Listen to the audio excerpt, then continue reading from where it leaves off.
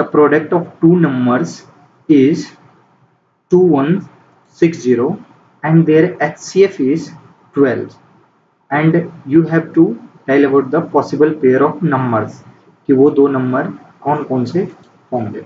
तो हम देखते हैं कि ऐसे कौन कौन से नंबर है जो हो सकते हैं। ठीक है, हम सबसे पहले देखते हैं कि दो नंबर का जो प्रोडक्ट होता है, वो होता क्या है? What is the product of two number आपको पता होगा कि product of two number is LCM cross HCF okay तो हम लोग देखते हैं कि जो प्रोडक्ट ऑफ़ टू नंबर्स है that is two one six zero and LCM and HCF LCM तो पता नहीं है तो एलसीएम छोड़ देते हैं।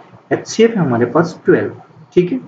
तो अब देखते हैं ट्वेल्व क्योंकि इधर मल्टीप्लाई है, इधर जब हम लोग डिवाइड करेंगे, क्योंकि ये टू वन सिक्स ज़ीरो है जो कि सिक्स का क्यूब है, आप लोग को पता होगा। Six cross six cross six into ten इसे लिख सकते हैं हम लोग। जब इस ट्वेल्व से आप इसे क्रॉस करेंगे तो ट्वेल्व से क्या हो जाएगा? सिक्स टू जा और टू थ्री जा। You will get one eight zero क्या आएगा? वन एट ज़ीरो जो कि क्या है? एलसीएम ऑफ़ दो नंबर अब मुझे पता है कि LCM of this two numbers must be क्या होगा? जो भी है आप देखिए। जैसे 184 हमेशा क्या होता है कि किसी भी नंबर का जो मल्टीपल होता है that is least common multiple जो एच है एच है जो एल एलसीएम है लिस्ट कॉमन मल्टीपल ये हमेशा ही उस नंबर से बड़ा ही होता है, क्योंकि मल्टीपल है, या तो उसके बराबर हो गया, उससे बड़ा होगा, लेकिन जो है, मुझे पता है कि जो हमारा एलसीएम आया है दैट इज़ 180 जबकि ये जो पहले इसमें जो ऑप्शन है, एक नंबर है 184 है जो कि नहीं हो सकता, ठीक है। दूसरा जो ऑप्शन है बी में दैट इज़ 185 ये भी नहीं हो सकता, क्योंकि जो एलसीएम है, दो नंबर का एलसीएम जो है, उससे दोनों नंबर में से कोई बड़ा नहीं हो सकता। है तो उसके बराबर हो सकता है एलसीएम तो उससे बड़ा नहीं हो सकता। अब देखते हैं क्या है कि 36 एंड 60 इसका जो एलसीएम है, वो 180 आएगा। यानी कि ये आंसर हो सकता है। कौन? 36 लेकिन 35 और 60 का एलसीएम नहीं आएगा तो ये भी नहीं हो सकता। 180 नहीं हो सकता इसका एलसीएम तो ये भी नहीं होगा। तो आंसर होना चाहिए कौन सा? 36 and 60 is possible pair of that number okay let's move to another question अब दूसरा क्वेश्चन देखते हैं हम लोग तो बोल रहे the largest six digit number which is divisible by 198 if the digits are rearranged, even then the number will be divisible by. क्या कह रहा है क्वेश्चन में? क्वेश्चन में कह रहा है कि सिक्स डिजिट का लार्जेस्ट नंबर है। आपको पता होगा कि सिक्स डिजिट का जो स्मॉलेस्ट नंबर है, उसे हम लोग लिखते हैं वन ज़ीरो ज़ीरो ज़ीरो जो कि एक लाख होगा ठीक है? समझेंगे एक लाख होगा। लेकिन जब हम लोग सिक्स डिजिट लार्जेस्ट नंबर की बात करते हैं तो लार्जेस्ट नंबर होगा नाइन लार्जेस्ट नंबर होगा हमारे पास nine nine nine nine nine nine and six times ठीक है? ये है। अब क्या है कि देखिए, यदि कोई भी नंबर है, अब हम लोग कोई भी सिक्स डिजिट नंबर लेते हैं लार्जेस्ट और वो डिविजिबल किससे? 198 अब हम लोग देखते हैं कि 198 में क्या है। जब आप ये दोनों को ऐड करेंगे तो you will get 9 and this is also 9 तो इसका जो डिजिट सम होगा दैट विल बी 18 जो कि 9 आ जाएगा फिर से। ठीक है? फिर से 9 आ जाएगा। तो किसी भी संख्या का जब डिजिट सम 9 होता है, यानी कि इट इज़ डिविजिबल बाय 9 यानी कि 198 इज़ डिविजिबल बाय 9 ये कट जाता है। तो इससे डिविजिबल है, इससे पता चल रहा है कि 198 का एक जो फैक्टर है दैट इज़ 9 198 का एक फैक्टर 9 है। और 198 से कोई चीज़ यदि डिविजिबल है तो ऑब्वियस सी बात है, क्योंकि 9 को 3 क्रॉस 3 लिख सकते हैं हम लोग। तो ऑब्वियस सी बात है कि our answer must be three तीन जो है, तीन से वो डिवाइड होगा। क्योंकि उसका सिक्वेंस चेंज कर देंगे तब भी, क्योंकि जो थ्री है और नाइन है, ये डिजिट सम पे डिपेंड करता है। किस पे करता है? डिजिट सम पे। डिविजिबल होगा कि नहीं होगा that depends on digit sum यदि डिजिट सम उसका, हम लोग कितना भी इसको सफलिंग कर देंगे इधर से इधर इधर से इधर तो भी मुझे पता है कि digit digit sum will be same और डिजिट सम जब सेम रहेगा तो वो नंबर तीन या नौ से डिविजिबल होगा। देखते हैं हम लोग। Question is the price of sugar increase by 25 percent what percent should a family decrease the consumption of sugar so that their expenditure on sugar remains the same?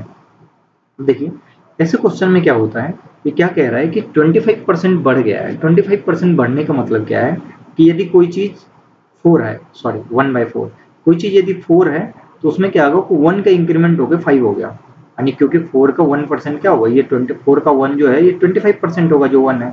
इसमें क्या है कि जब जोड़ेंगे तो हो जाएगा फाइव लेकिन अब मुझे क्या करना है कि मुझे रहना है चार पे ही। यानी कि कोई चीज़ पाँच रुपए है तो उसको डिक्रीज करके क्या करूँगा, मैं फिर से चार पे लाऊँगा।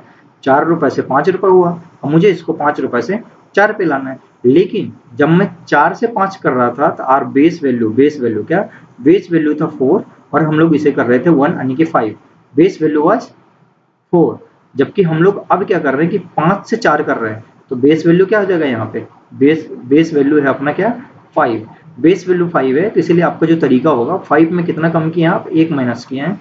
ये आ जाएगा वन डिवाइडेड बाई फाइव और वन बाई फाइव किसके बराबर होता है? That is twenty percent what is one by five is twenty percent तो our answer must be twenty twenty percent twenty percent answer होगा हमारा। नेक्स्ट क्वेश्चन है A's income is sixty sixty percent more than the B's income and B's income is A का जो income है that is देख लीजिए ए का income जो 60 परसेंट मोर देन है, किससे? बी से बी से। जबकि जो बी का इनकम है seventy five percent more than the C income and C's income is twenty percent less than the D's income अब देखिए, सारी कहानी ए का रिलेशन बी से दिया है, ठीक है? ए का रिलेशन किससे दिया बी से। बी का किससे दिया सी से। सी का किससे दिया? डी से। लेकिन क्या है कि इन चारों के बीच में सैलरी में कुछ ना कुछ संबंध है। लेकिन जो डी की सैलरी है, देख लीजिए क्वेश्चन में, ये ऑलरेडी हमारे पास दिया है। D salary is twenty thousand कितना है? ट्वेंटी थाउज़ेंड क्योंकि हमें पता है कि डी का जो सैलरी है, ये ट्वेंटी थाउज़ेंड है और इससे कितना कम है? ट्वेंटी परसेंट लेस है ऑन सी सी की सैलरी ट्वेंटी परसेंट लेस है। आपको पता है कि बीस हज़ार का पचास परसेंट आएगा दस हज़ार। पच्चीस परसेंट आ जाएगा, पाँच हज़ार। इसको कभी भी हम लोग आधा और आधा का आधा करते जाएँगे तो हमें पता चल जाएगा। लेकिन मुझे चाहिए इसका अस्सी परसेंट। अस्सी परसेंट चाहिए मुझे तो मैं सीधा सीधा बीस हज़ार और इसका क्या कर दूँगा? अस्सी परसेंट। जब इसका अस्सी परसेंट आप निकालेंगे तो आपको क्या मिलेगा? You will get sixteen thousand कितना आएगा?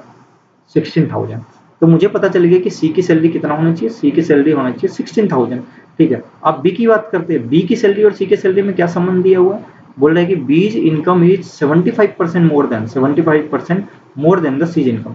अब सी का इनकम कितना सी का है 1600 1600 का जो 25 परसेंट होता है या 75 परसेंट बात करूँ मैं तो 25 परसेंट जो 4000 होगा। यदि मैं 75 परसेंट की बात करूँ, इसका जब मैं 75 परसेंट निकालने जाऊँगा, यानी कि थ्री बाई फोर, क्या करूँगा मैं? थ्री बाई फोर ऑफ़ कितना? Sixteen thousand. सिक्सटीन थाउज़ेंड का थ्री बाई फोर करूँगा तो फोर से आप इसे जब करेंगे कट तो ये आ जाएगा आपके पास सीधा सीधा four thousand four thousand into three thousand you will get twelve thousand कितना आएगा? ट्वेल्व थाउज़ेंड तो इसका जो सेवेंटी फाइव परसेंट है, किसके बराबर हो जाएगा? ट्वेल्व थाउज़ेंड का।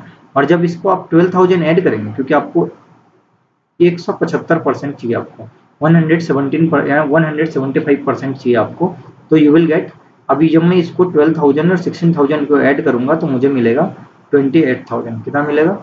ट्वेंटी एट थाउज़ेंड तो ट्वेंटी एट थाउज़ेंड किसकी सैलरी होगी? बी की सैलरी होनी चाहिए। बी का इनकम होगा ट्वेंटी एट थाउज़ेंड अब बी का ट्वेंटी एट थाउज़ेंड है, लेकिन मुझे क्या पता चल रहा है कि जो ए की सैलरी है, वो एक सौ साठ परसेंट है। किसके? एक सौ साठ परसेंट है ए की बी की सैलरी की। तो बी की सैलरी कितना है? एट्टीन परसेंट बी की सैलरी कितना है? Eighteen twenty eight thousand B की सैलरी है ट्वेंटी एट थाउज़ेंड ठीक है? जब आप इसे करेंगे मल्टीप्लाई करेंगे तो आपको आएगा sixteen into twenty eight thousand जब करेंगे तो ये सोलह अठे एक सौ अट्ठाईस यानी आठ, और सोलह गुना बत्तीस, और बारह यानी कि फोर्टी फोर। ये आ जाएगा आपके पास फोर्टी फोर और डबल ज़ीरो। तो आंसर मस्ट भी क्या आएगा? Four four eight double zero. This will be the answer